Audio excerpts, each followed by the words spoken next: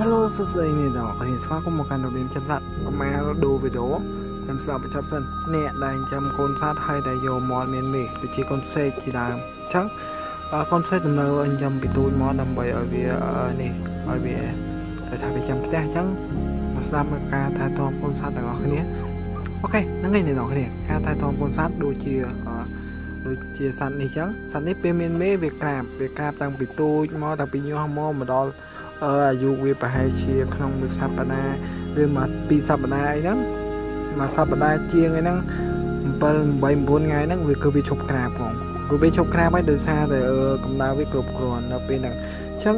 កូនផ្សេងក៏ដូចគ្នាអញ្ចឹងពេលដែលអ្នកនរគ្នាចាំផ្សេងផ្សេងវាតែងតែនៅក្នុងរុនអញ្ចឹងវាអត់ធ្វើជីវិតដូចជាហេវាអត់ធ្វើជីវិតដូចពីគេចាហេអញ្ចឹងវាធ្វើក្នុងរុនអញ្ចឹង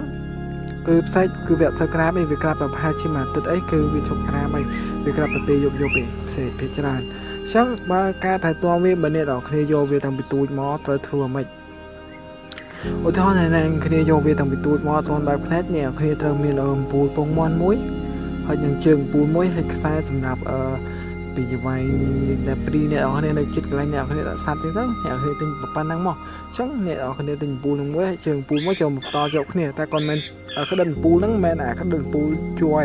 គឺអាក្តិនពូលថ្មអញ្ចឹងបានន័យថាក្តិតវាហ្នឹងមិនទិញតែក្តិតវាមកទិញមួយឈុតគ្នាមកអញ្ចឹងយើងកុំយកអាក្តិនពូលអាពូលធម្មតាពូលអីយកទៅដាក់ គឺវាក្តៅឲ្យលួយតែម្ដងអញ្ចឹងពេលនេះដល់គ្នាឧទាហរណ៍ខ្ញុំឧទាហរណ៍អ្នកគ្នាមើលឧទាហរណ៍ថាសត្វហ្នឹងយើងដាក់ក្នុងកញ្ច្រែងអញ្ចឹងហើយយើងត្រូវដាក់ពូលមិនពេលដែលវាត្រជាក់ចិនយើងដាក់ពូលចាក់អើយពេលដល់វាត្រជាក់យើងដាក់អំពូលកម្ពស់នេះមកយើងដាក់កំពូលកំពូលកម្ដៅកម្ពស់នេះមកអញ្ចឹងវាប្រហែលជាកម្ពស់នេះមកយើងដាក់ទៅហើយពេលដែលវាត្រជាក់យើងដាក់ទៅបើសិនជាយើងលូកដៃទៅបើសិនជាវាត្រជាក់អត់សូវដល់អញ្ចឹងយើងដាក់ក្បែរក្រោមតិចទៀតទៅ